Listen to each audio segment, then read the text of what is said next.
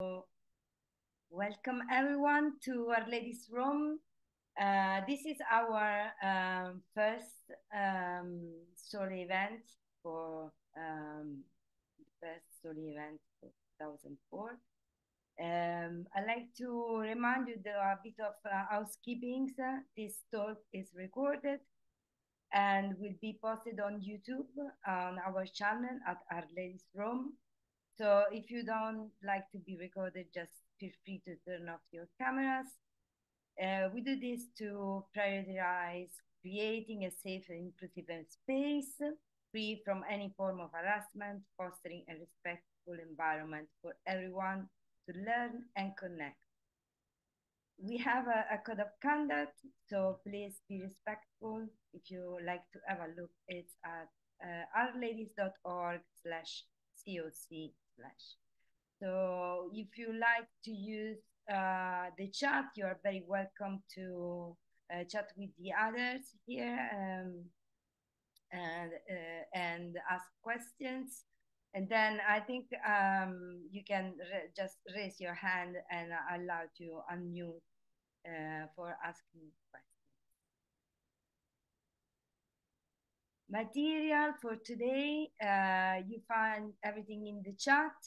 Uh, but in the meantime, I do this introduction. Please uh, make sure to uh, add over um, posit.cloud, sign in, and uh, um, follow the link in the chat for the workshop material. If you experience any issues, please uh, put uh, one in the chat so we can help you out.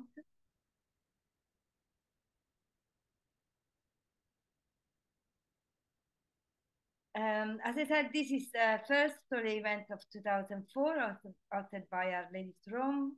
Uh, introduce myself. Uh, my name is Federica Gazzelloni. I'm Italian. I'm from, uh, and I am one of the chapter uh, organizer. I'm thrilled to have you all here. Uh, we have um, uh, also our new um, co-organizer, Silvana Goss. I don't know if you would like to introduce yourself a bit. She just joined us. Uh, thanks for the welcoming. Uh, yes, I just recently joined. I'm based in Barcelona. Uh, and yeah, I work as a data scientist in tech now. Uh, thank you. We are also delighted to be joined by Shannon Pileggi, who will be uh, our speaker. Uh, I'd like to talk a bit about R-Ladies. Our Ladies is a global organization with the mission of promoting the R language for empowering women at all user levels by building a collaborative global network. Uh, it's a friendly um, community uh, founded in 2012 by Gabriela de Queiroz in San Francisco, and it is now a worldwide organization with more than 219 chapters in more than 63 countries with many events, many members. Uh, if you'd like to have a look at the uh, R-Ladies Global website, you can find it here at rladies.org.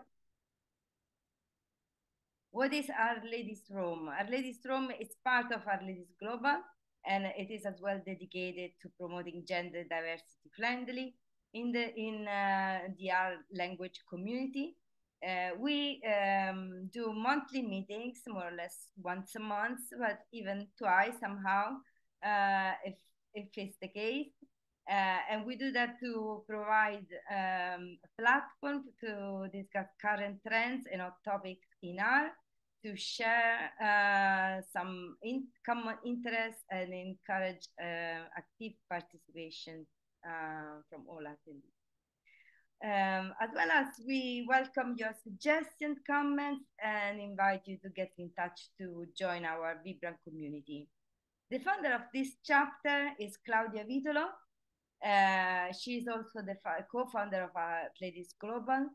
Uh, this is um, me, Federica Gazzelloni, and Silvana Costa. We also have a little uh, Google form for you. I'll put it, I'll put it in the chat. if you like to um, uh, join us, you can fill up the form and we will get in touch. That would be very um, so exciting to to have you join us our join our team. Uh, a little overview about the um, what to expect from R-Ladies Rome in the following months. Uh, so um, so far we, we already have uh, had an introduction to Quarto. Uh, a couple of days ago, we've been through artificial intelligence with uh, building a chatbot with Shiny and AI. That was very uh, amazing. Uh, and also, um, so the, the session for today, which is uh, in so getting inside R and solving issues with Shannon. Uh, we plan to have more uh, events uh, mm, as these ones with Isabel Zimmerman talking about vetiver and model, model deployment. Also, we will be joining R-Ladies New York in April uh, with an event about causal um, inference. And, and amazing news uh, is that we have um, Hadley Wickham, so the author of R for Data Science, uh, the Tidyverse meta package, uh, and so Advanced R, and, and so many more, uh, even mastering Shiny, talking um, for R-Ladies Rome. Uh, also in June, we expect to to host an event with Yanina Bellini Saibene, uh, which is she is the founder. I think Shannon is, uh, if I'm not um, saying wrong, so of the R Open Science community. Uh, and uh, then in the end of August, we expect to uh, a great event with Julia Stewart Lowndes uh, about NASA uh, OpenScapes project uh, and much more. I don't know what, what's going to happen. Okay, so I have a little slide for you. Uh, if you like to scan the code or use this um, debugging R um, uh, code for um, uh, getting inside the pool, I, I do this to uh, have an idea of your level and where you when where you're from, uh, so we know each other um, a bit better. Okay, if you experience any issues, any uh, problem, please uh, ask for in the chat.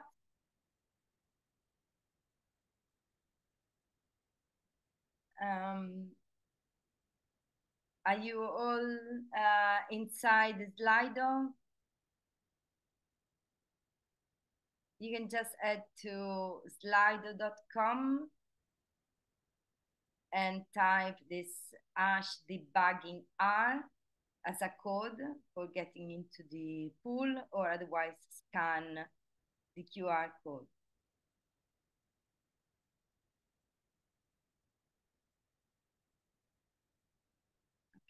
I'll launch the pool. The first question is, which country are you joining us from? Thank you. United States, Belgium, India, Spain, Scotland, Germany,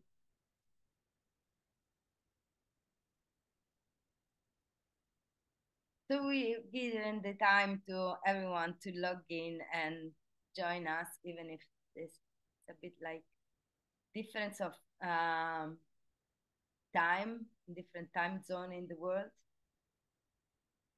So here is 6 p.m. in Italy, but you know, we have all different times. Germany is like predominant within our attendees France, Ireland, United States. Uh, I uh, think um, yeah, okay.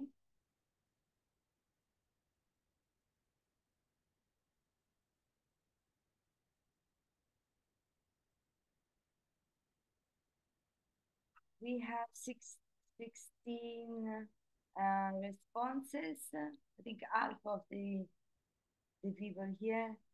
Uh, do you have? Do you need any? Uh, you need just to go to slido.com and then type ash debugging R as a code. You don't need to log in. Um, nothing at all.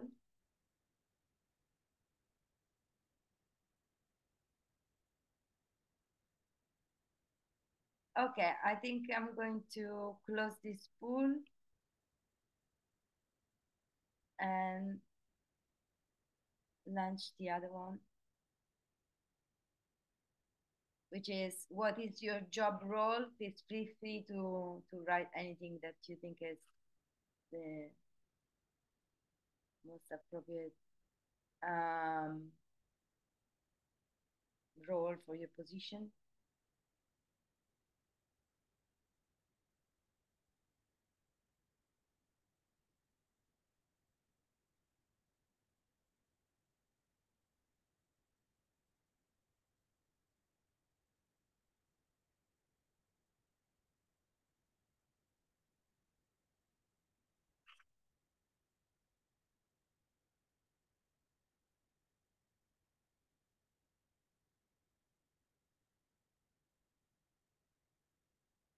Data scientist is the most postdoc, statistician, um, professor, PhD candidate, scientific associate, data visualization consultant. 19 responses, a bit more than before. Okay, lecture,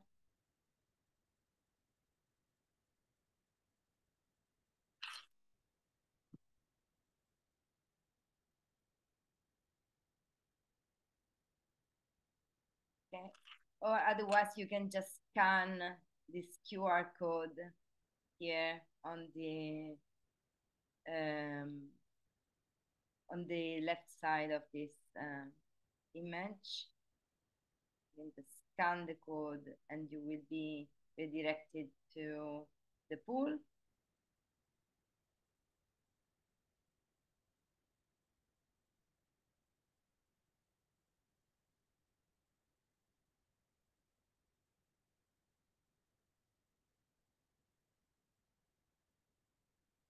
Okay.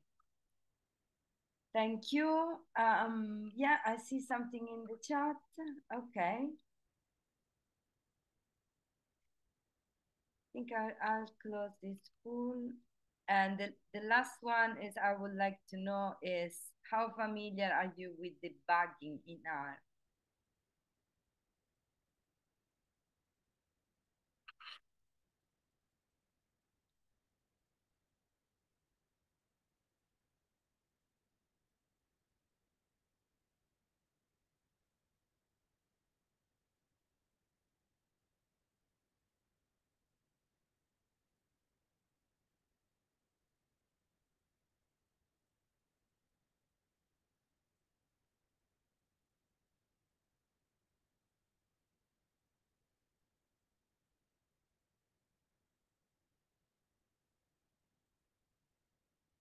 Okay, so but, but we had 21 responses, so not not 32 exactly. So we still missed about, about 10 people, yeah.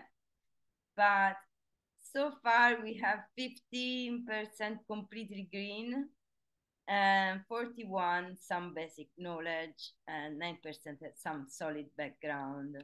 So no one is an expert on debugging. Okay, so thank you very much.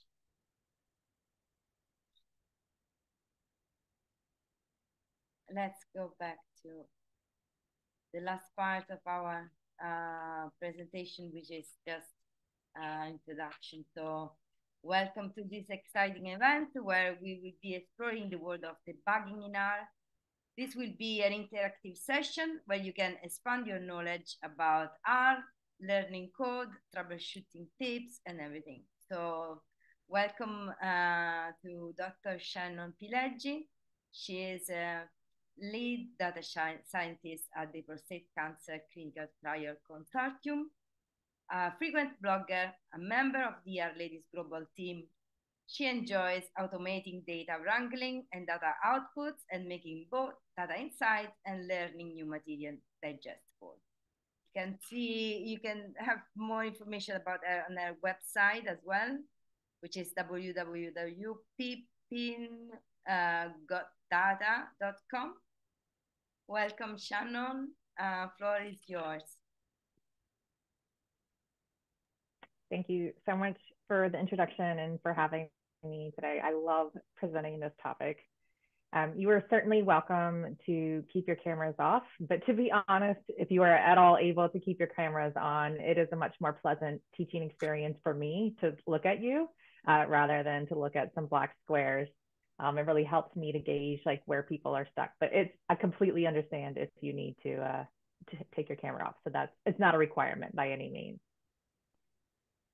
Uh, so today we are going to be talking about debugging, and I'm already debugging Posit Cloud over here in the side on the chat. Um, I guess the sharing link didn't uh, work for everyone. So uh, when we start entering Posit Cloud, um, if you still need access to that, I, I will do my best to access you, but I have been um, adding people individually uh, from their email. Uh, so today we're going to be talking about just a couple of tips on troubleshooting, but we're going to really focus most of our time on formal debugging tools. And we're going to differentiate between debugging code that you own, tips and tricks for how to debug code in the RStudio interface, and then debugging code that someone else's someone else owns that you don't actually really have the source code for or at least immediately at your fingertips and then maybe some special cases if at any point in this presentation you have a question you are certainly welcome to drop your hand or put your question in the chat i try to monitor it periodically um, and address those questions live or save them for the end depending on the scope Um, so this work is licensed under Creative Commons license, and it was originally developed as part of a two-day RStudio conference, now Posit conference workshop called What They Forgot to Teach You About R. So if you see the WTF acronym in the slides or in the Posit Cloud workspace, that's where the acronym comes from. WTF stands for What They Forgot. And it falls under this um, because debugging is a pretty specialized skill in R uh, that I don't think is traditionally taught in many curriculums. Um, so if you're working locally, I'm going to be assuming you're working from a recent version of R and R Studio and that you're ready to build packages. However, we are going to try to use Posit Cloud and not be working on our own personal computers. So we should all have the workspace, same workspace set up. if after this presentation you're interested in learning more, there's a whole host of resources here. Um, if I can highlight a few, like the debugging chapter in Advanced R is really good, and the Jenny Bryan 2020 RStudioConf keynote is really fabulous, and I would highly recommend you watch it. And some of the examples we're going to be going over today are straight from that keynote talk.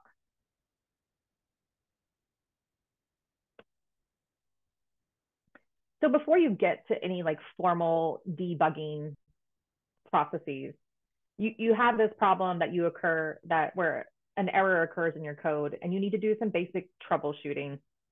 And so the basic troubleshooting you should be doing before you get into formal debugging is first like searching, like if you hit an error you're unfamiliar with, um, you can search for that and if you're not really good, like familiar with like the best search practices, I recommend watching Teach Me How to Google, another R-Ladies uh, workshop by Samantha Fisk.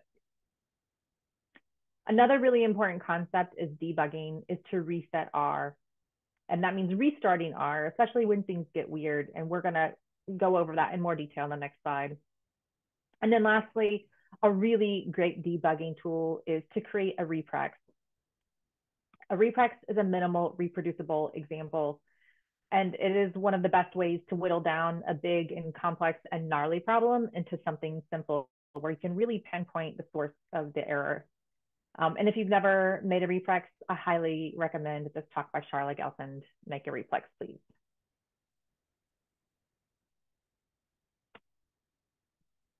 But let's really talk about resetting because this is such a huge component to debugging. And I'm going to be doing this over and over and over again um, as you watch me go through some exercises. So when you have a problem in R, it's really important you turn off R off and on again. Um, there's a whole lot of like weird things that can linger in your workspace, or maybe you're doing some on the fly package installations and there can be some interactions that are happening in your environment. So it's always best to start with a clean slate and rerun your script um, when you're encountering errors. So to turn things off and on again, there's also some really important background that you want to have appropriate settings in your RStudio interface. So to turn things off and on again, you can go to session, restart R, or you can use your keyboard shortcuts. But before you do that, you want to make sure you have your workspace settings set appropriately. So you would go to tools, global options, and then your workspace. And then when you see this, you want to have the following selected. Uncheck restore R data into workspace at startup and save workspace to R data on exit never. Now, this is very safe to do in your Posit Cloud environment because it's not your local environment. It's not going to interact with anything that you have going on. If you do do it on your local computer, and I do recommend that you do it on your local computer, it will change what you see when you open R. So normally, if you don't have these options set, when you open R, you will see objects in your environment from your previous session, and they will still live in your environment. Now, when you open R, you'll open R with a clean slate and there will no longer be these objects in your environment. So it is a different way of working, but a good way of working. So our first exercise, and you are welcome to ask questions about that in the chat as we go through our first exercise. But I want you to um, either on your Posit Cloud workspace or your own personal computer, and we need to do it on the Posit Cloud workspace anyway, is set your workspace options as shown. So I'm going to demonstrate that for you in the Posit Cloud workspace. And I'm going to move this over here. Going to go to debugging, open up my project. So again, the way we're going to get to those um, settings is we're going to go to Tools, global op options. And then I'm going to uncheck restore R data. And I'm going to set this to never instead of always. I'm going to do that two more times. So again, we go to tools, global options, If you scroll down in your global options, there's the workspace section. You will uncheck restore R data and save the workspace to R data on exit to never. There's a question in the chat. Do you recommend to uncheck the workspace restore box just for debugging or in general? In general, always, because you are going to always be debugging, right? Like when do you have a time that you're working in R that you are not debugging, right? Like every time you hit an error in your code, this is a, um, a great way to start with a clean slate. Um, so I would definitely recommend doing it always. Uh, so again, last time, we're gonna go to tools, and of course, if you need me to repeat myself, I'll do it. Global options, restore, uncheck restore R data, and set this to never. And then importantly, what I have not been doing is hitting apply. I've just been hitting cancel so I can show you again. Um, so this time I'm going to hit apply. So any more questions about this and why we're doing it and why it's important? or how it's going to change the way you work. Happy to take anything.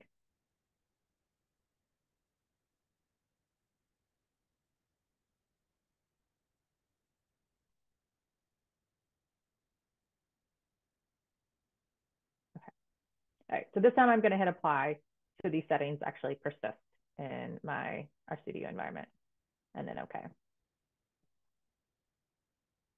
All right. So you've done the things, right? You've you've tried searching your error, you tried restarting R, you tried making a reprex, and things still keep coming back at you. Like what are your options now? And specifically, we're talking about in the context of functions. Like, so when you see an error or an unexpected result in a function, what do we do next? So for debugging your own code, and that means where you have written the function and you're leveraging it from sourcing it in or from a package, um, there are traditional print methods. Um, and there's and I'm not going to spend any time talking about how to like insert print statements into functions, but there's a good amount of that in the advanced R book. Um, what I always did in the past, I would like very painstakingly set and interactively run function arguments. Like I would have a function with five arguments and I would set each one individually and then step through my function and be messed up between things in my global environment and my function environment and everything that was happening it was a mess. so thankfully, there are more efficient tools available. And so when we talk about debugging, here are the key concepts we're going to discuss. We're going to discuss the traceback as shown by the road icon, which is the location of where the error occurred. We're going to talk about use of the interactive debugger, which gives you context on why the error occurred, and that's got the ladybug symbol. And then we're going to be talking about debugging your own code, inspecting it with that magnifying glass versus breaking into someone else's code to debug, and that's got the wizard hat.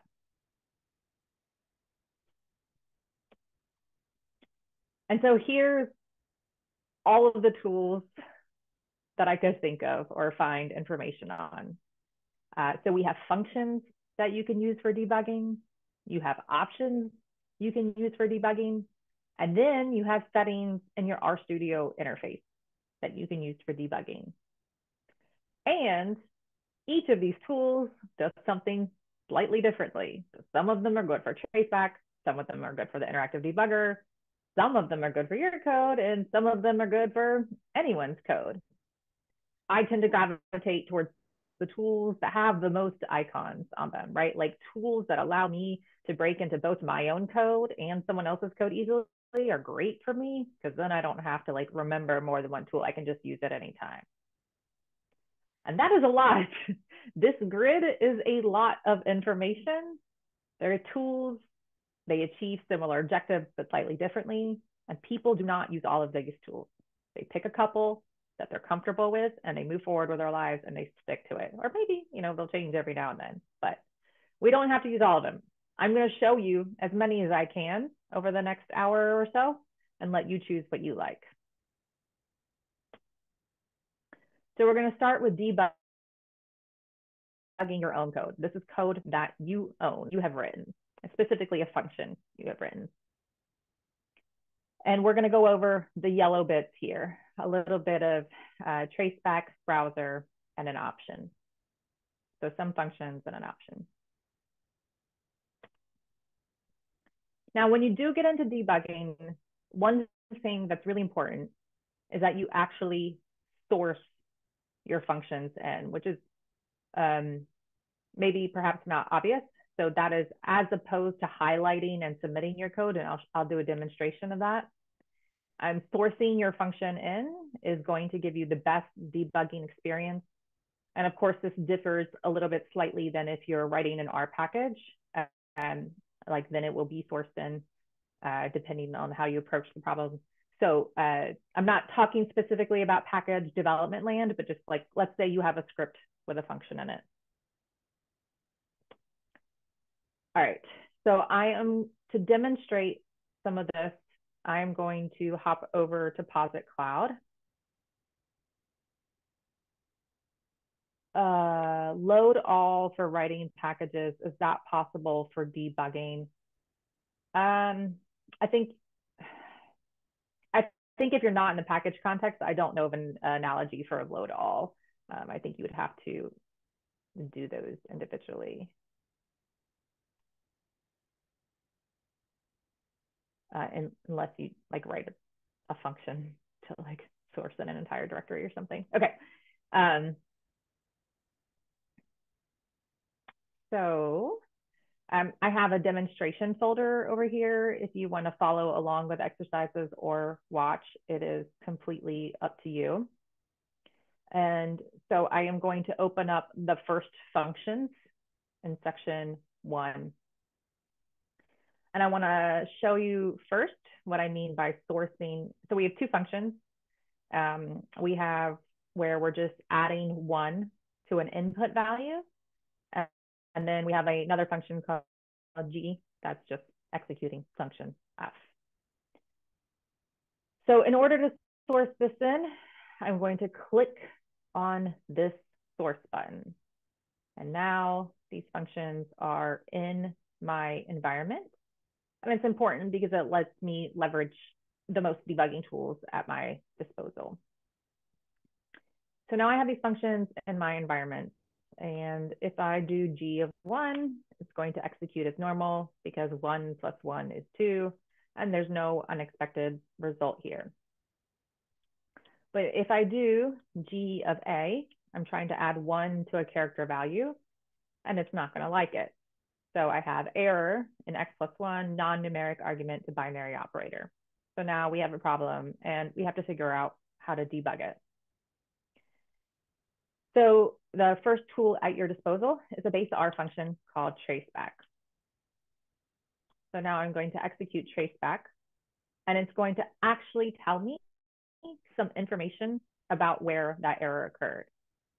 So it tells me that it found that error in this script, the script that I named and saved that only contains functions and no other loose bits of our code, uh, and zero one my functions. And it tells me exactly the row number where that happened. It happened on row five when I call it f of x. Now this context of script name and row number name is not available to you if you don't source this in. So I'm going to restart R by saying session restart R. That's going to start with a clean slate because we went through those clean state slate parameters.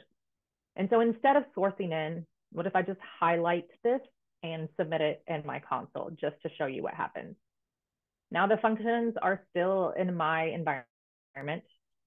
And now when I call G of A, it still results in the same error, but now I want to do a trace back on it. And it doesn't give me the full context that you saw before. So the full context we saw before, again, was like the script name and the row number. And now we don't get a script name and that row number is not relevant.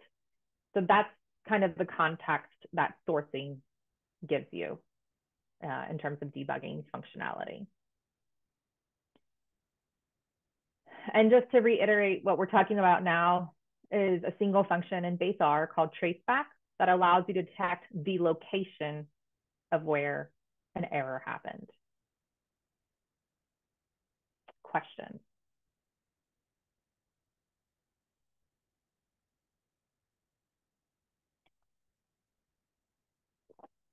We will be getting to some meatier examples that give you a little bit more eye candy to look at.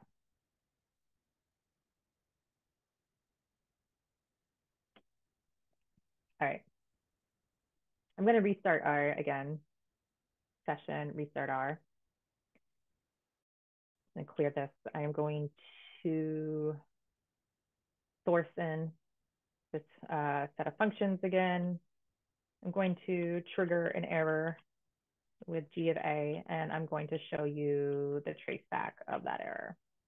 All right, so I did show you, you know, hey, we know where our error happened. Um, there are some options you can use to get a little bit more richer information on your traceback. So this is using an option from the rlang package called error equals rlang entrace. And then just to show you the difference here, now when I trigger an error, uh, it says, gives me the suggestion, do you want to run rlang last trace to see where the error happened? And when I do that, um, I don't know if I can minimize this top bar. If anyone has a suggestion on how to uh, minimize this top bar so I have more real estate. F11, thank you. Perfect, okay. Um, so now it gives me a little bit more context about this error. So the function g of a lives in my global R environment over here. The function f of x lives in my global R environment over here. And it tells me more specifically exactly where the source of that function is located and also the row number and column number that was the source of the error. So options error equals rlang entrace is something that would persist for this R session. Alternatively, if you are familiar with using uh, R profiles, uh, you could put this in your R profile so that it would persist and be used, um, employed for every session that you open. Are there any questions?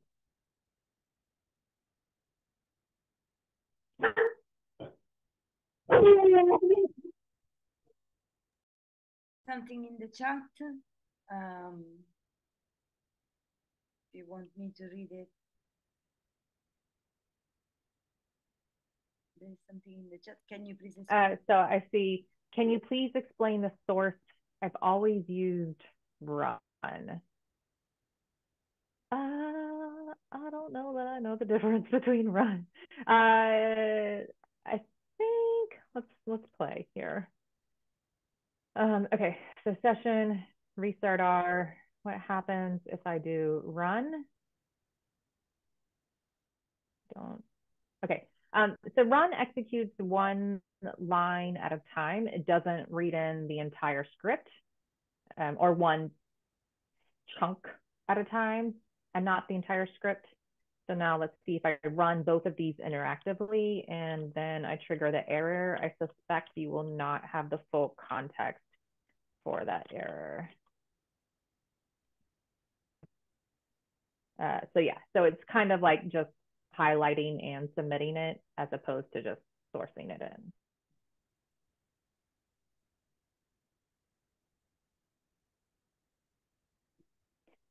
Can you debug a simple script that doesn't include functions? Um, we're not going to be uh, approaching that in this workshop. And this is specifically in the context of functions. Uh, and I think you'll see the power of that as we come to the interactive debugger. Um, so this is specifically like when you need to get into different environments. If you are not in, if you're like in a simple script, then you're working straight from your global environment and you don't have a lot of these weird interactions that you can see otherwise. Um, but I'm happy to talk more about that at the end um, if you have specific questions after we go through this.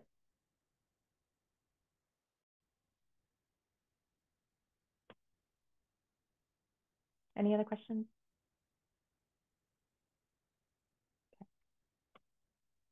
I'm going to just skip back over to the slides real quick.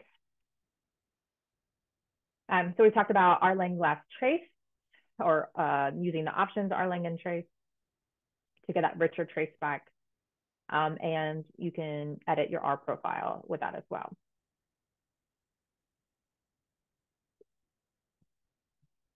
And just uh, just for awareness, traceback is a base R function. The rlang stuff obviously comes in the rlang package, and they just work a little bit differently. So if you're like playing around with them, just note that the ordering and numbering differs between traceback and rlang functions. Um, so they, the traceback kind of starts at the error and then proceeds up to the first execution. Uh, the rlang functions will start at the first execution and then go down to the error. Uh, so it's just all a little bit different, just something to be aware of um, if you're tinkering.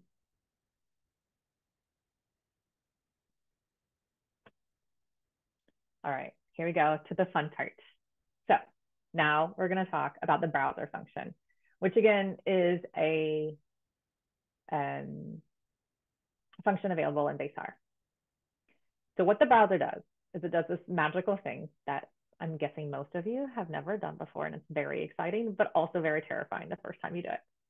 It opens something called the interactive debugger the way you use it is you have to actually modify the body of your function to include a browser statement.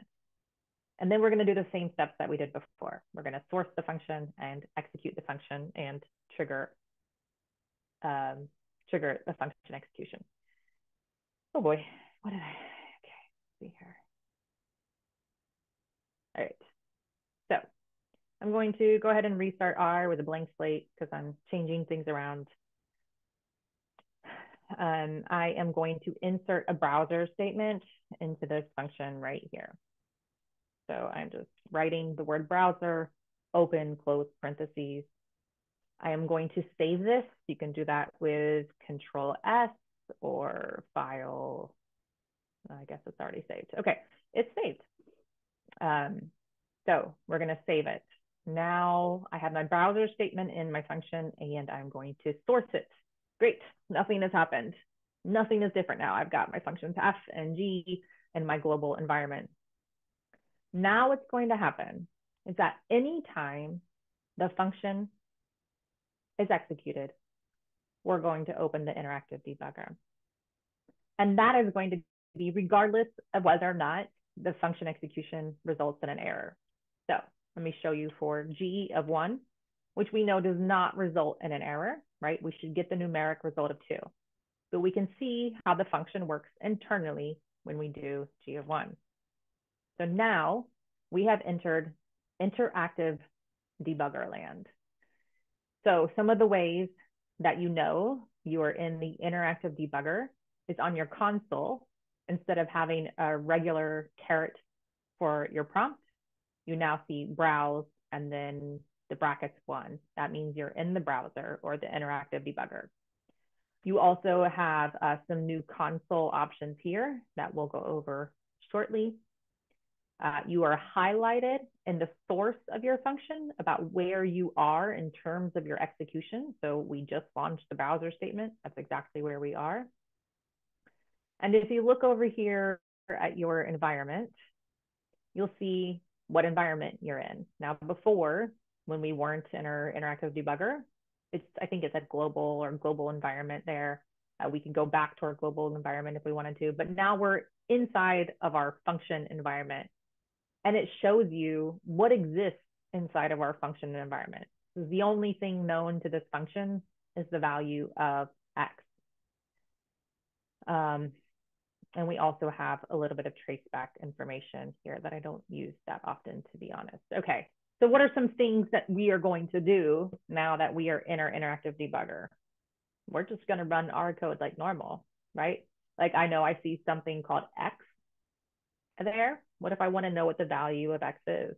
I can submit that in con the console and see, well, the input value of X was one.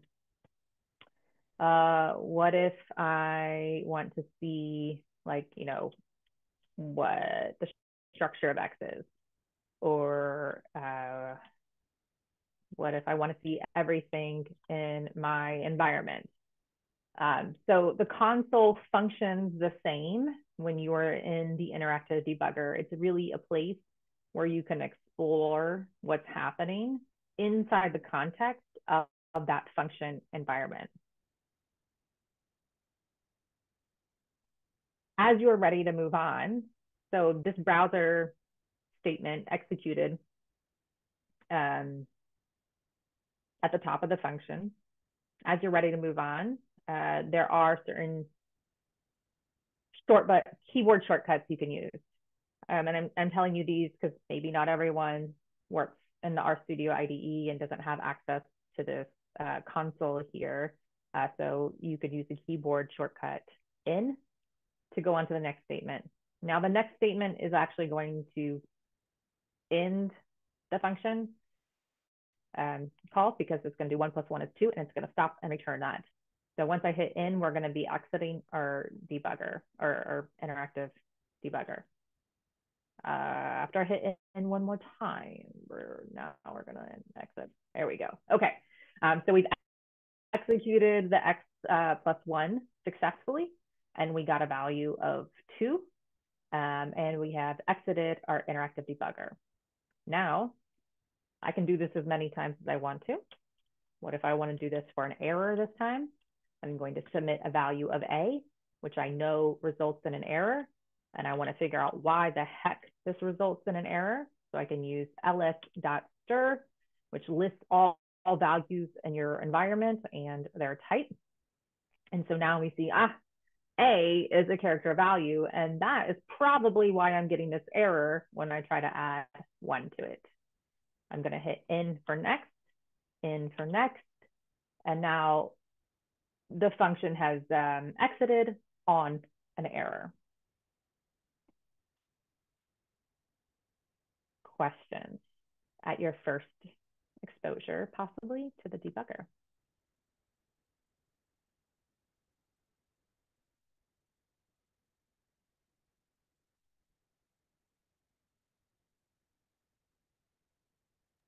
What does the uh, the first browse one uh, line does? What what is this debug and the um, the first n that you type? Uh, the, the, the following, yes, this one. That n. Um, so that n uh, means move on, execute the next line. So um, when we call this, uh, so it opens the browser statement. I'm going to hit n, which will move that yellow highlighting to the X plus one, but not execute it yet. So I'm going to move the active line to X plus one. That's the first n.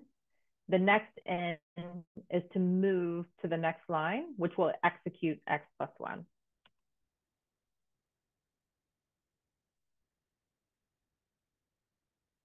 Other questions?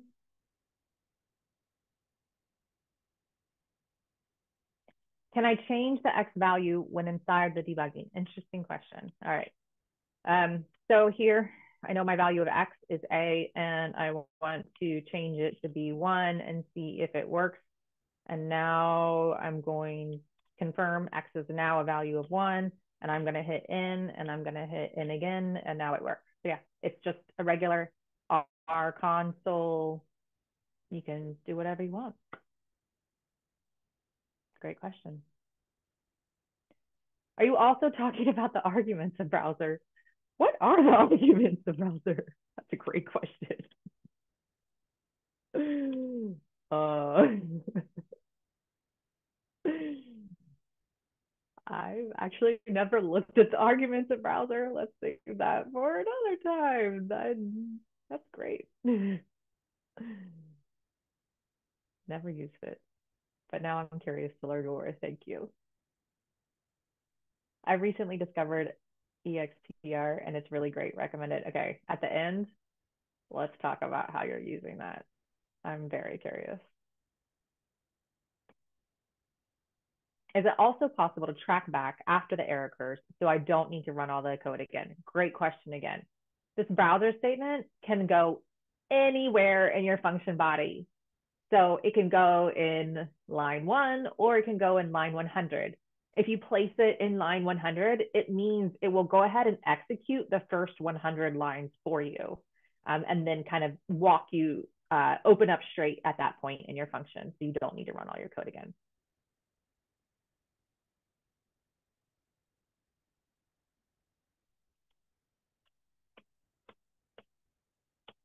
Other questions?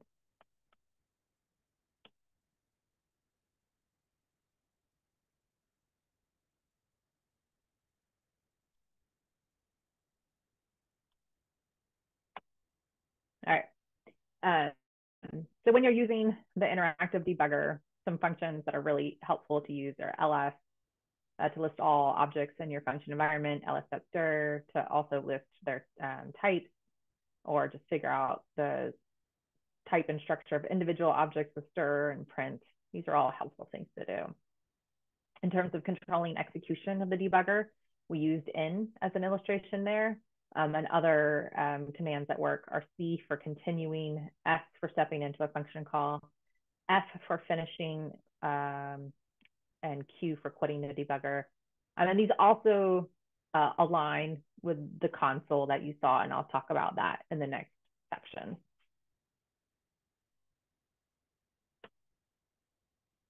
So we've talked about traceback and browser, essentially. Now it's time to go to our first exercise.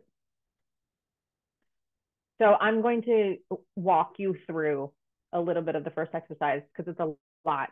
And, and then you all can take a vote on if you want time to work independently or if you want to do it together. So um, mm, mm, mm, okay. So I'm going to close my functions. I'm going to restart R.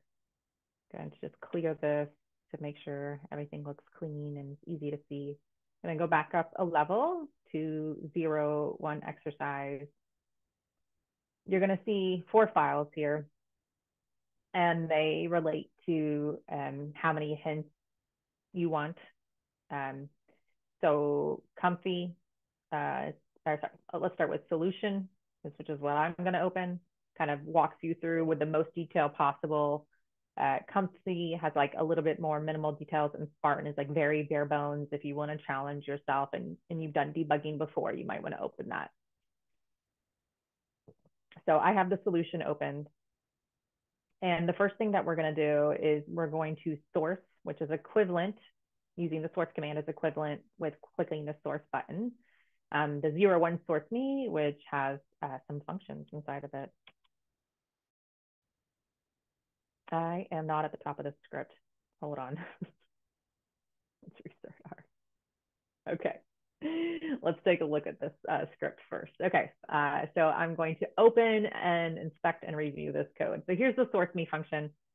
What source me has in it is it has a data frame uh, with some information about some fruit and it has a function called fruit average, which computes an average of some sort regarding those fruits. So um, we are going to now source that in, and we're going to take a look at our fruit data. So this is the fruit data that was input. We have blackberries, blueberries, peaches, and plums.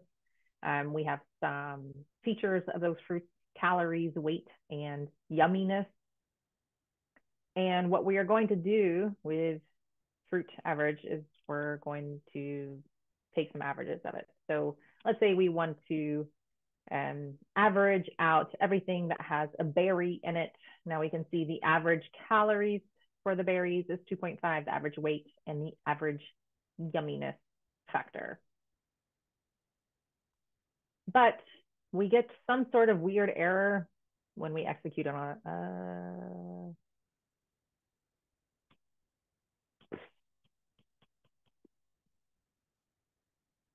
Hold on. Did I? Yeah, I fixed it. Okay, sorry. Let's take this out. I don't know if it was in everyone else's workspace. That's not supposed to be there. Y'all are gonna have to tell me what happened. Okay, um, so I'm going to restart R. Okay, uh, I'm going to resource that in. I'm gonna take a look at our fruit, our fruit averages. Now, when you ex ex execute this, you should see an error. Found blank fruits, error in row means many dot, X must be an array of at least two dimensions. Are you seeing the error or are you seeing a successful execution? Because if you're seeing a successful execution, they'll tell you what to delete. Oh no, okay. Uh, so you got a copy of the workspace that I had fixed. Oh yes, uh, the file, there is a file called solution. Um, well, now we've just spoiled it for everyone. Um, okay, uh, what you saw in this, if you want to, you do need to experiment with the error in place. And so if you are on line 11 and your zero one source me, you want to delete this drop equals false. So just, just take it out and then we're going to experiment with the error and then we'll come back. So I'm just going to, on line 11 and zero one source me, gonna remove the solution that you are not supposed to have. And I'm very sorry for this experience. It's supposed to be a little bit more mystery for you. So, all right, deleting. If, if anyone needs me to repeat that, um, I can repeat that um, and I, just let me know. Right. All right, I'm going to restart R. I'm going to go back to the top.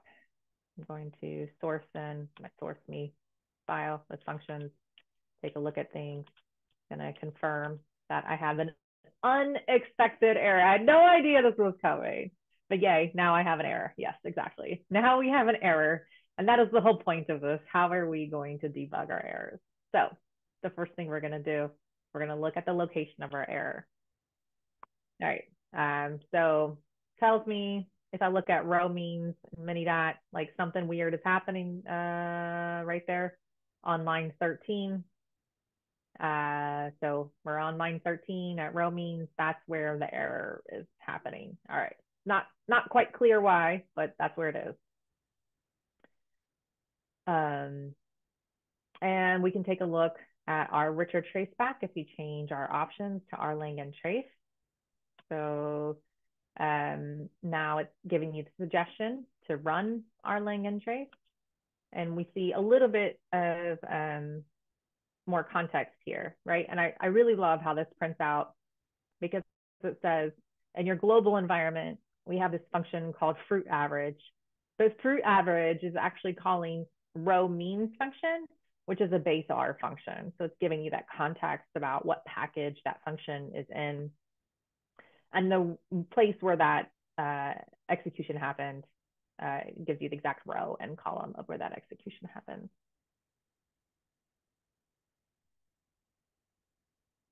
All right. Now what we're going to do is we're going to modify the body of this function. And we're going to do so by putting a browser statement again in. Again, I can put a browser statement up at the top and it'll be opening the function without any of the lines below executing. So I'm going to save this now, and I'm going to uh, source it in. All right. Now, instead of triggering the interactive debugger, I'm going to go off script a little bit, and I'm going to, uh, sorry, instead of triggering an error, Instead of triggering the interactive debugger on an error, I'm going to trigger the interactive debugger on a successful execution. So we know that berry worked, but I'm going to open up the interactive debugger in a situation that I know works on berries. All right, so we're starting um, at the top of our script. We know that this fruit average function took on two arguments, DAT for data in some sort of pattern. What are the values and types of these? Let's do ls.str. Um, so we know we have a data frame with three observations and four variables. And we also have a pattern that is a berry string, uh, a character string with a value of berry. Now I can step through this function within. Um, so I've highlighted the next line, but I've not actually executed it yet. So now let's execute calls uh, so now I can see that the value of calls is a vector, uh, which contains values in one and two.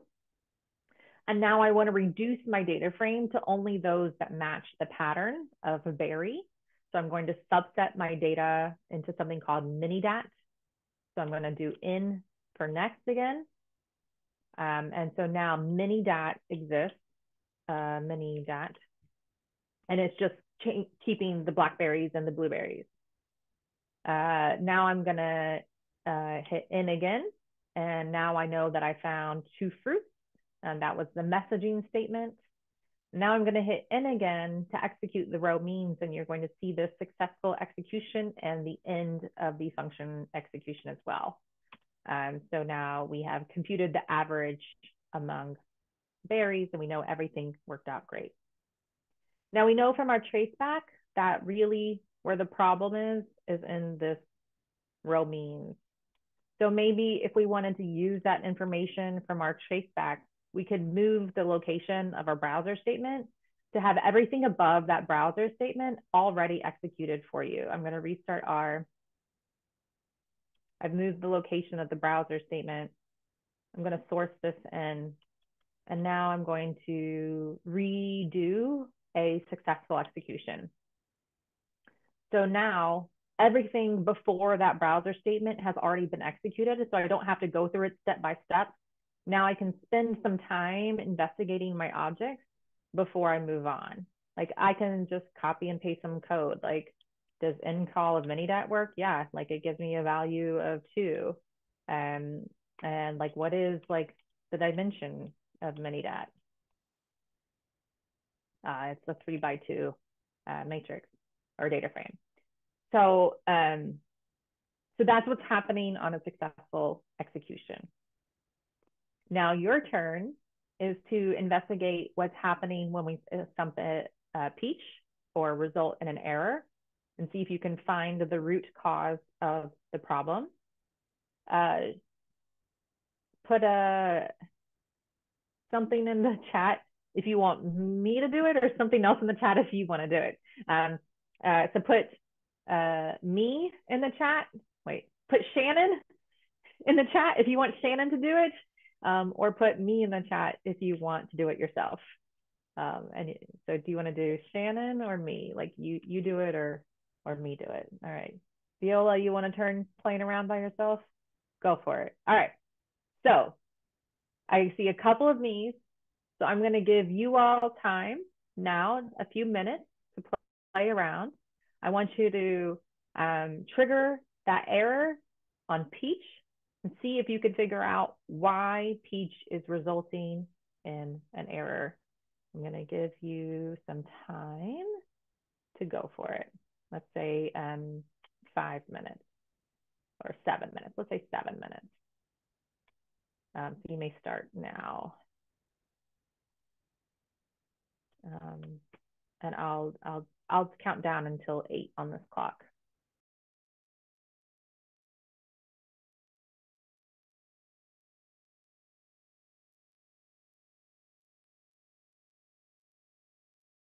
All right, so I think I will go ahead um, and come back together now, unless anyone has any strong protests and really wants more time on their own.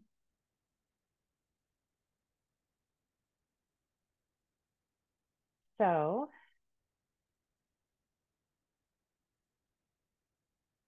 did anyone figure out why Peach results in an error? what is the root cause of the problem.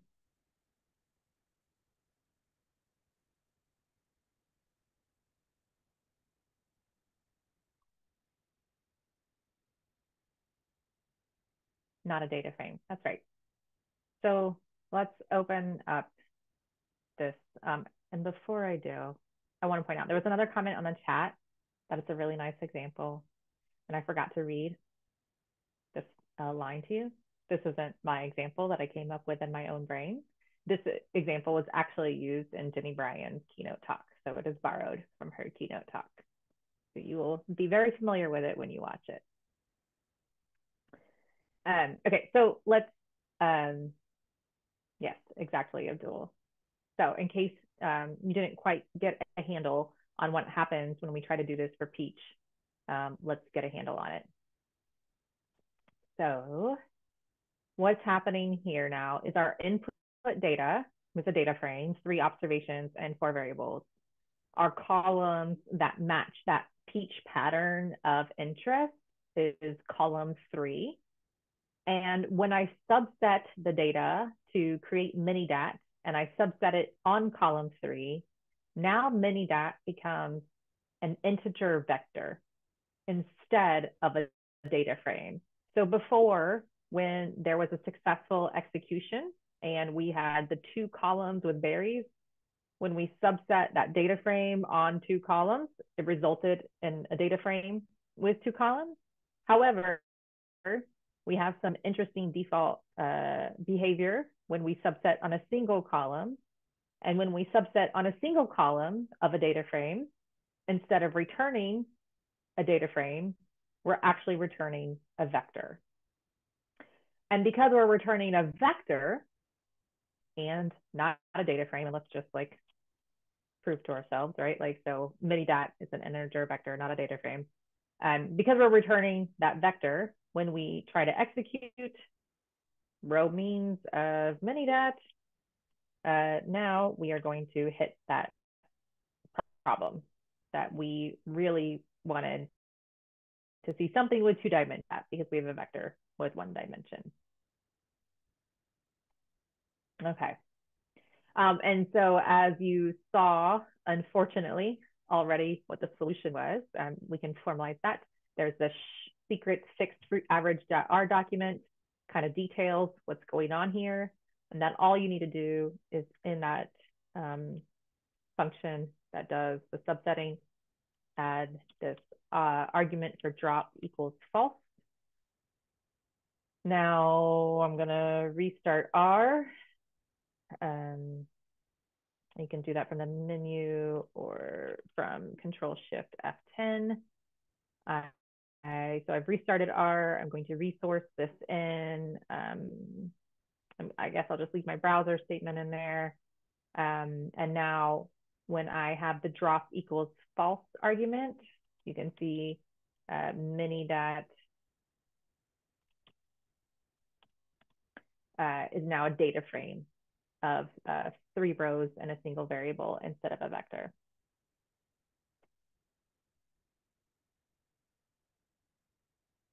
Okay. Are there any questions?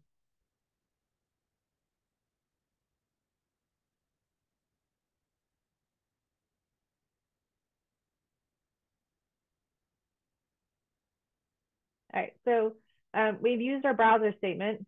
Uh, we successfully found the root of our error, diagnosed it, and all of that. Uh, a drawback to this, like you have to remember to take it back out of your code, right? Like now we're done. Uh, so you have to remember to delete it from your function um, now that everything is fixed. So of course there's other options. Any other questions before I move on?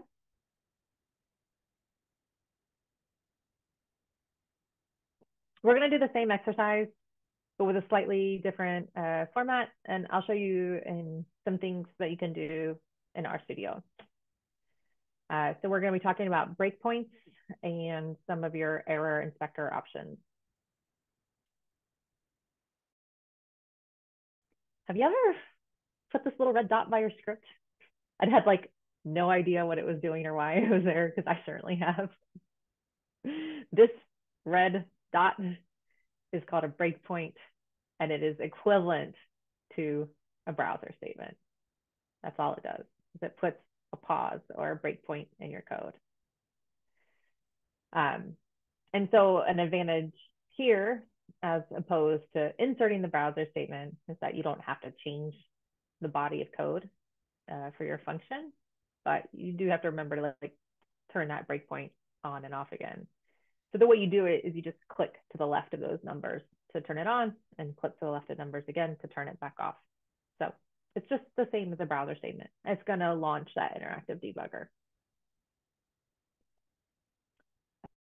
And so let's, the left of the numbers, it's called the gutter. And you know the picture of slide 27 is not in the slides for us. Slide 27. This picture? You can't see this? You see this graphic with like the what? Like on your local computer or when I'm screen sharing?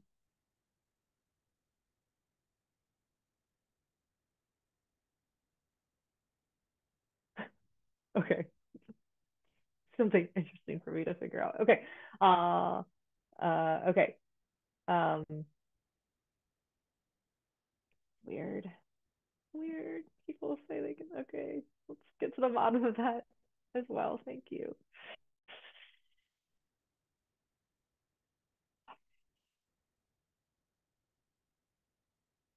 So let's talk about some IDE options. All right, we've got our breakpoint. Um, and so uh, what you saw when we were using the debugger um, is that we saw this console that I kind of just glossed over. It does the same things as those keyboard commands, the N, the Q, the S, and all of that.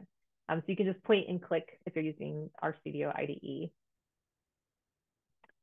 Um, and then let me demonstrate the debugger uh, using the breakpoints just real quick.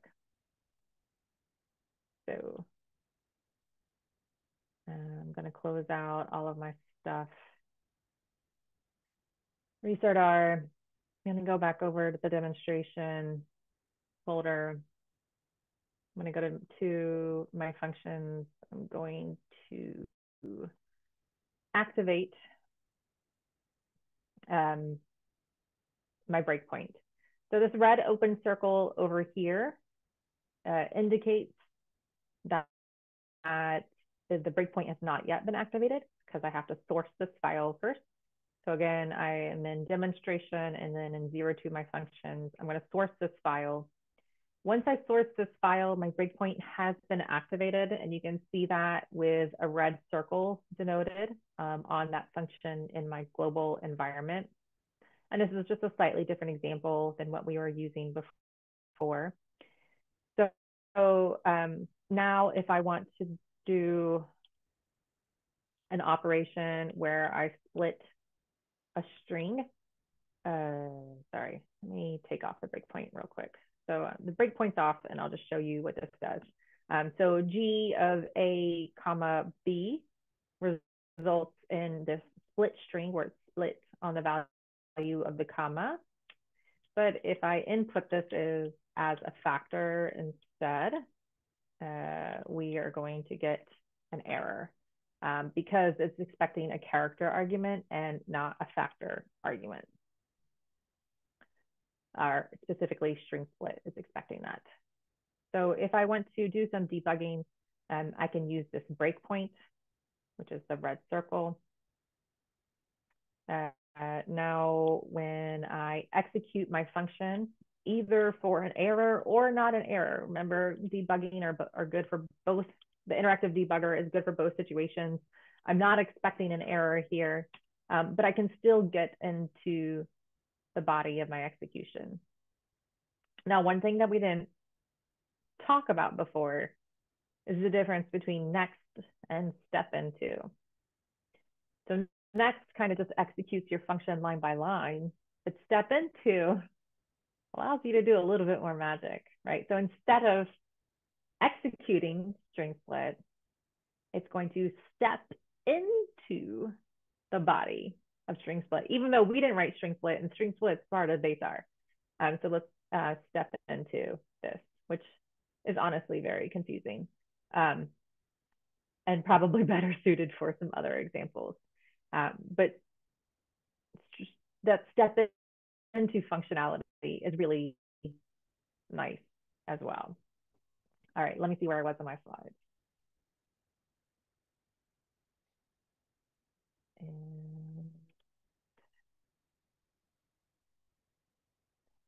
Okay. So we put on a, a breakpoint. Um, there's also these options that you have in the RStudio IDE beyond the breakpoint. So there's this debugging menu at the top of the IDE, and there's options that you have uh, for on error, and it's probably yielded some confusing results for you at some point um, because on your local computer, I don't know if you have set it to message only, error inspector, or break in code. Um, but if you ever see like unexpected results, it could be because your on error got accidentally like reset to something else. So here's the setup that we just did um, with the breakpoint and saw that we had the error with factor. Um, so let's see what happens if we do the message only option.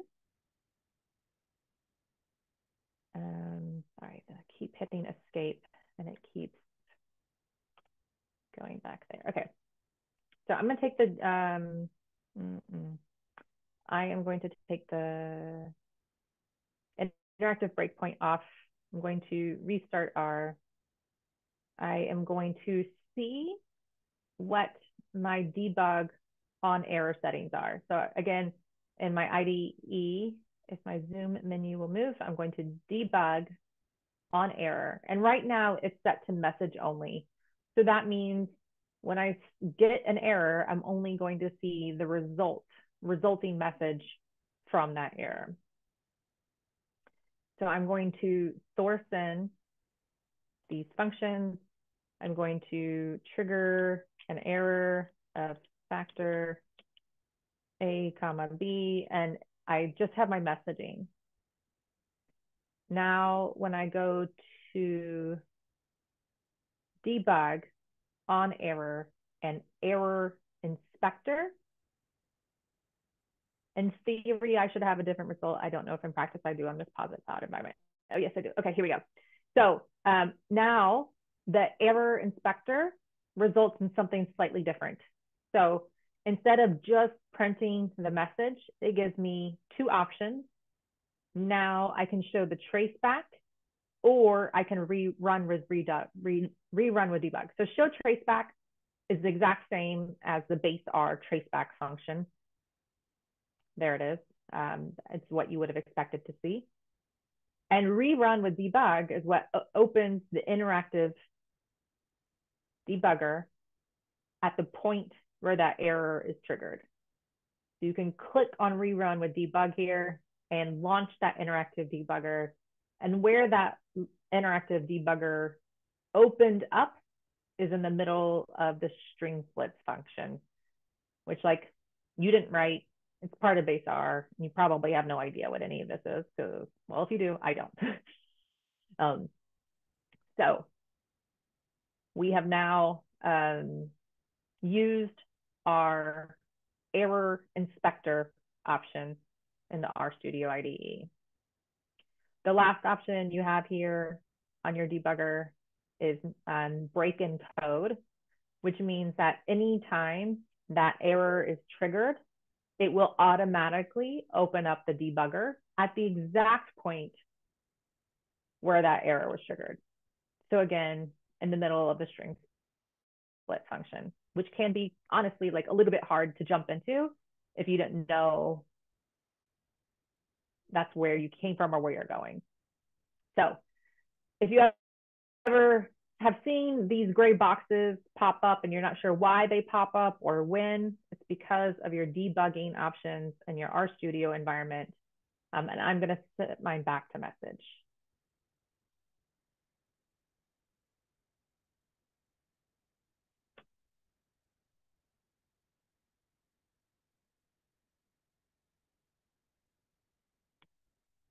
Um, and just a small note on your uh, error inspector in RStudio. It's only invoked if it detects your code. Um, and I don't want to get in the nuances of when it's triggered or when it's not, but like if it doesn't detect enough of your own code, it's not, it's not going to get triggered. So we talked about IDE options with breakpoints and your error inspectors and breaking in your code. So now it's our turn to go through the zero to exercise again. But I want you to do something, you're gonna see a slightly different uh, setup. And I want you to do something slightly differently this time. So Let's, let me orient you to the set, set up. So in our zero to exercise, I'm going to open up the solution again I'm going to verify that you don't actually have the solution in here. Okay, no, we're still to hit an error. Um, yes, there is no solution in here, but there's a different setup here. So the different setup in this instance is before when we did zero one source me, we just had one function to walk through. Instead of one function to walk through in our two exercise, we have a series of very small functions.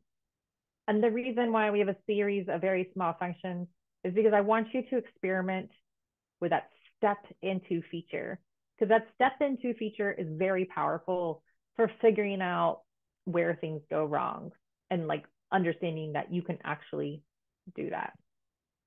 Um, so now we have a series of smaller functions composing a larger function.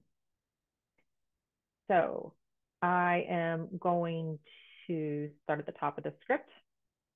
Um, so we've looked at our source me. We are going to source it in. We're going to verify that we have some fruit data. We are going to do a successful execution for berry. And then we're going to see an unsuccessful execution for peach.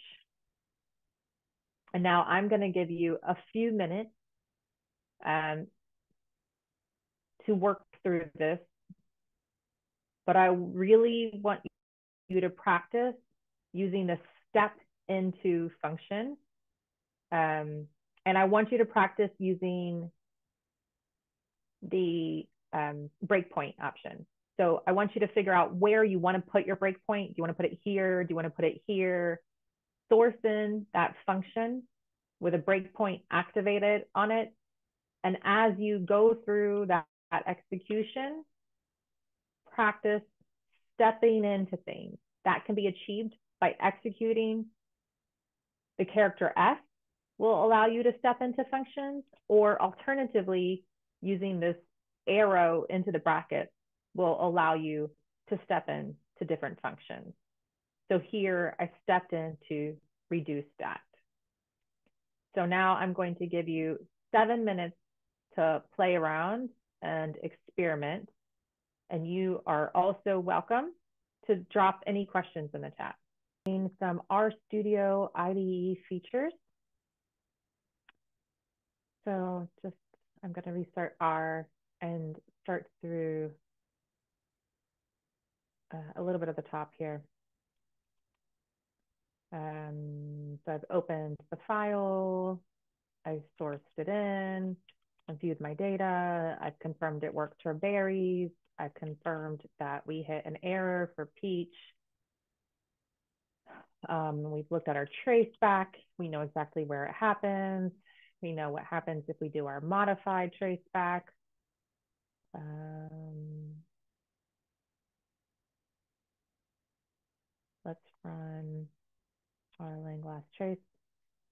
Um, now when we look at our modified traceback, now that we have this like one larger function composed of a series of many functions, it'll tell you exactly, that traceback will tell you exactly every function that it goes through in order to hit your error. So first we started with the fruit average function, then where we started to enter our error was in that compute average function.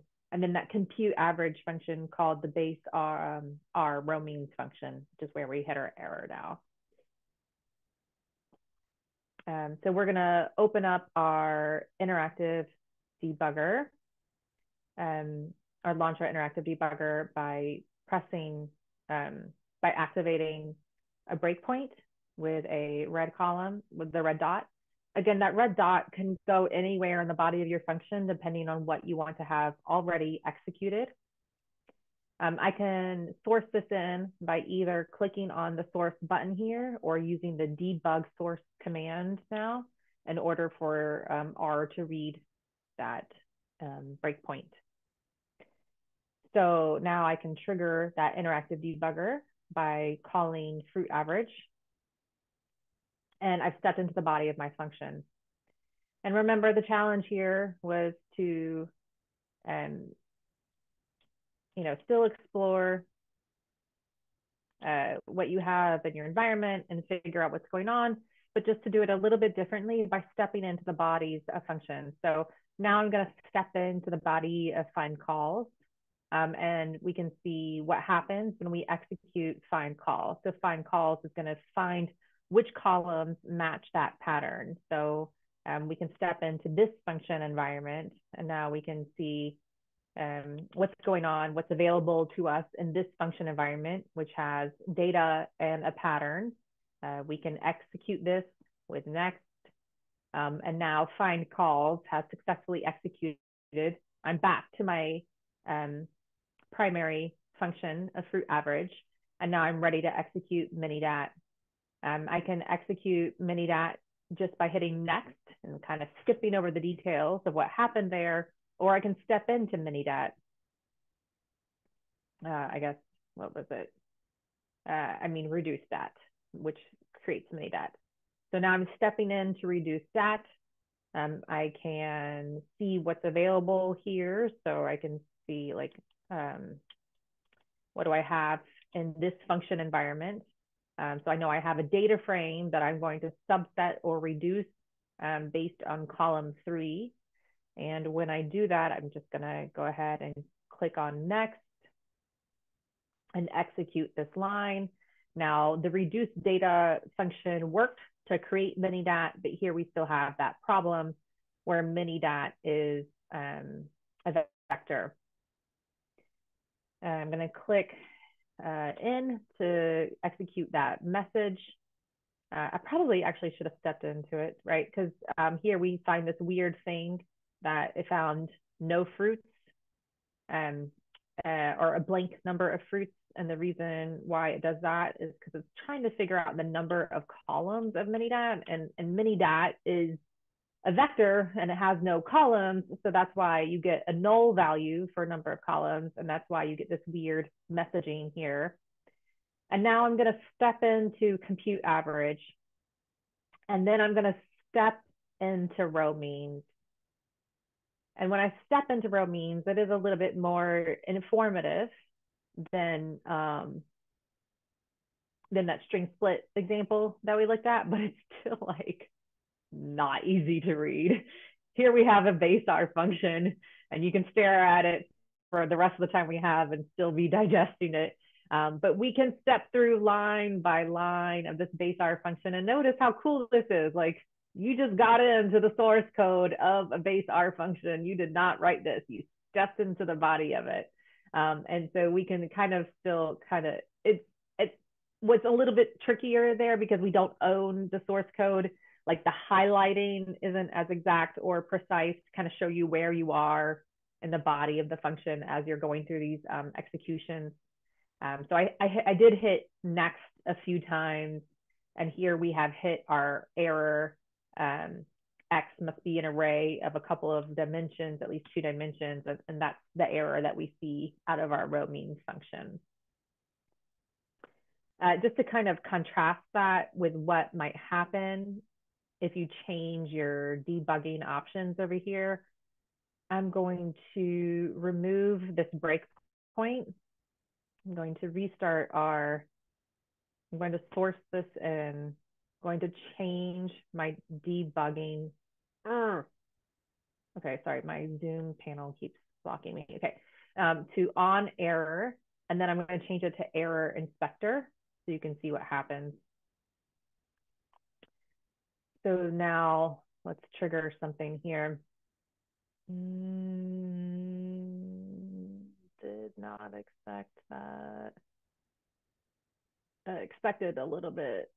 I expected the gray box there. Did not get the gray box there. Let's see what happens if we break in code. All right, so debug on error, break in code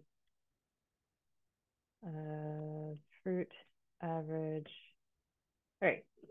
So just to kind of show you what happens when you break into that code, as soon as that error occurs, it drops you straight into row means, which if you have no idea how you got into row means, it can be very disoriented, right? Because you went through like five or six steps to get into all right, I am not asleep. I am actively executing this project. What is happening? All right, uh, but you did go through like five or six steps to get into those row means, and what that um, uh, on error did is it dropped you straight into row means, which I can find uh, quite disoriented. I don't know what's happening here. All right. And let's see where we are. Debugging on error, break in code. Uh, let's source this guy in and just show you again. So now that I'm on break into code, um, and now I've just stepped straight into row means and left to fin for myself and base R. All right. So um, I'm going to put my debugging uh, back to message only. Are there any questions about these RStudio options? We talked about the breakpoint. We talked about changing your debugging options, and we talked about navigating via the console.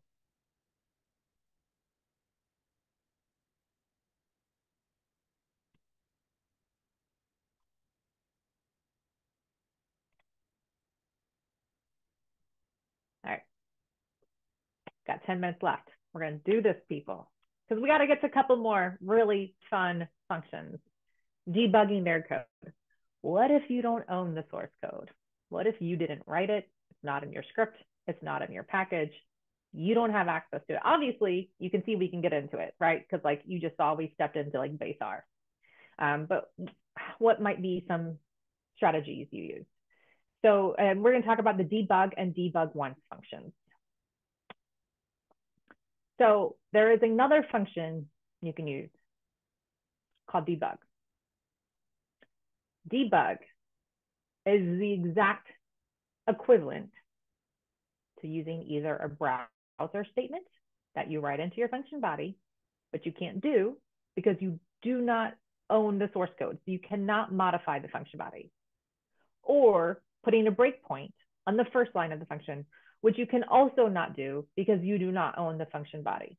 You're trying to break into someone else's code. You can't modify the body of the function, or you can't leverage the breakpoint in a script. But debug will open that interactive debugger at the beginning of execution. Now, what debug does do is it keeps you in debug land forever until you remember to turn it off. So when you are debugging a function, G, it is very important that you also remember to undebug that function G. So what it's going to do is that interactive debugger is going to start every time G is executed until you do undebug. I have not personally had this experience, but I've heard others that sometimes they get trapped as a debugger when they use this because you have because of the I don't know because of the way it works. So um, let's go show you. All right, we're gonna get out of these examples. I'm gonna restart R get a fresh environment. I'm going to clear my console. I'm going to go over to project demo I'm going to go to my functions, I'm going to go to execute. I'm going to try to remember what I am doing. I'm debugging. That's what I'm doing. Okay. So um, my functions are back to the beginning functions, just x plus one again. Uh, so I'm going to source in that script. Now I've got my functions f of g. I'm going to set my debugging flag. So I am debugging the function g. Now I'm going to execute function g. Now I am in my interactive debugger. It looks different, I think, than before, possibly. Um, I can't quite remember now. It did look a little different when I called it, right? Like it, I think before it was opening up this script and showing you the interactive debugger as you walked through this script the debug function works either on your own script, like on your own R function, or functions that you don't own, like that you don't have the source code for. Um, so it, it does look a little bit different. Uh, we can step into this function now. We can, and I clicked on the step into button there to see that we're actually trying to do uh, x plus one keep stepping in, keep executing, um, and then we result in our error. But now just note that like every time I call the function, every single time, doesn't matter if I'm getting an error or not, See, I'm calling G of one now. Every time, every time I call the function, I'm executing the interactive debugger. So in order to turn that off, you have to say undebug that function. Now, I can call that function as usual. You have to remember to undebug it.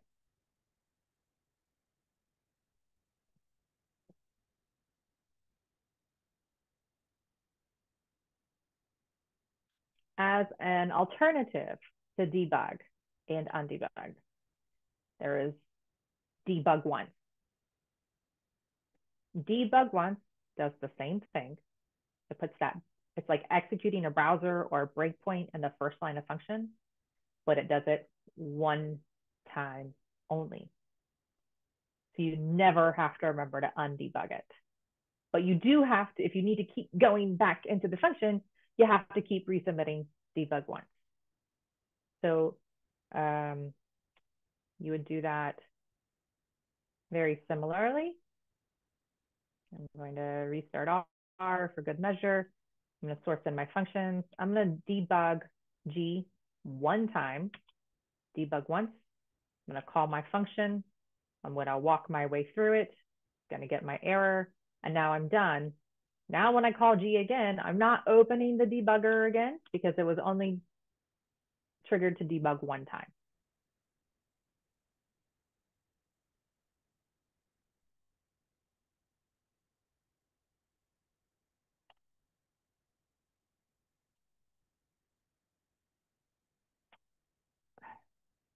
We have five minutes left.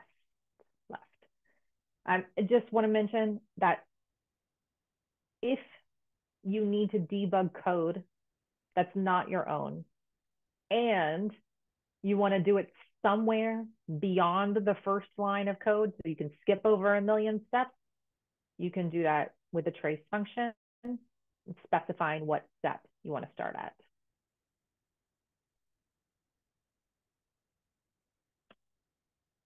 All right, um, just so you can see how this works in our last few minutes, I'm going to go over to exercise three. I'm going to open up the solution. And this is a different setup again, because now we don't own the code. So what I have done here is I have created a package called WTF debug. You do not need to execute this line. You do not need to install this package. This package should already be pre-installed in your Posit Cloud workspace, which you can test by executing library WTF debug. We can look at our WTF debug package And you can see it's a very small package with a fruit average function and some fruit data and all of those little mini functions that compose the bigger function. So we do not own this source code in the WTF package. It lives in someone else's package now, and we need to get to the bottom and figure out why on earth we can't compute the fruit average of peaches. Um, so fruit is in there. The fruit average works on berries again. On peach, we're gonna get that error because we've got a bug in our code. We can still identify the location of that error. Um, we can still use our options for our richer traceback. Now you notice this looks a little different because this function lives in the WTF debug package, no longer in our global environment. So that's signaled in our traceback. Um, and now I'm going to use the debug once function to trigger the interactive debugger because I cannot modify that function body with a browser statement and I cannot set my interactive debugger or my interactive breakpoint. So now I'm going to trigger. I can't remember if that needs to be in quotes. Uh, but it worked. Okay. Um, and so now I have triggered the interactive debugger a single time. It has brought me into the source file for fruit average. Um, and now I can use my interactive debugger tools to step through things. So I can kind of walk through just as I would any other function as if I owned it um, and see and try to diagnose what's going on. Again, we see that vector problem. All right. So debug should not require a source call as I'm not expected to have a source, right? Yes. Debug does not require the source call. Um, all I did to kind of source it in, for lack of a better words, is say, like, I attach it library WTF debug.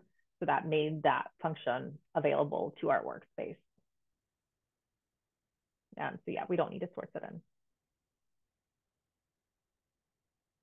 All right, it is one minute. I can stay on for a few questions. I'm happy to take any. Uh, thank you all for joining. I hope you got something out of this.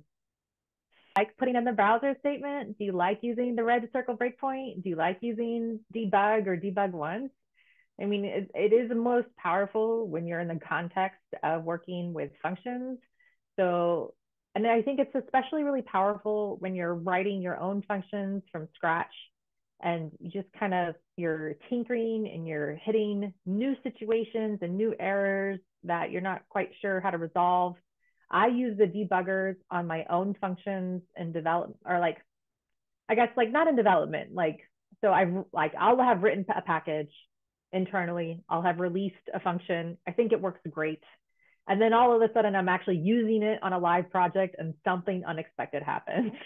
and that's something I didn't really think about, you know? And then that's when I go into my interactive debugger and I say, what is this weird thing that is happening? Why is it happening? And then that allows me to inform a modification on my release package. So I can go back in and modify that function to be more flexible or, or approach those errors.